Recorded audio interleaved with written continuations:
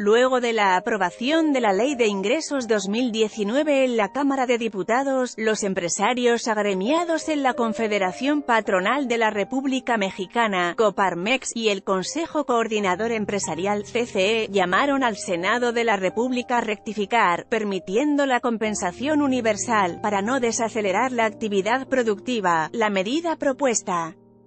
por el Gobierno de México va en contra de la simplificación fiscal que necesita el país y afectaría la liquidez de las empresas, particularmente las pequeñas y medianas e, incluso, de las personas con actividad empresarial, asegura el CC, por medio de un comunicado emitido la tarde de este jueves.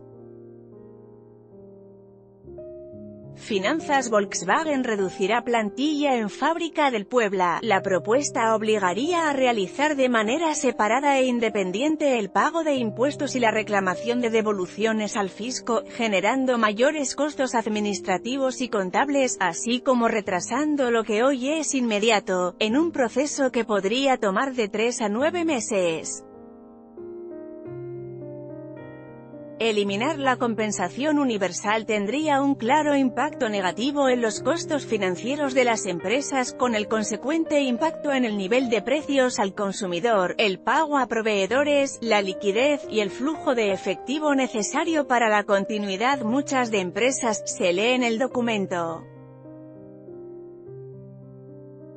Por su parte, Gustavo de Hoyos Bleiter, presidente de Coparmex exigió al Senado mexicano a través de su cuenta de Twitter que rechace la reforma al artículo 25 de la Ley de Ingresos, eliminar la compensación universal de impuestos descapitalizará a las pequeñas empresas, generará corrupción en las devoluciones y empujará a la informalidad.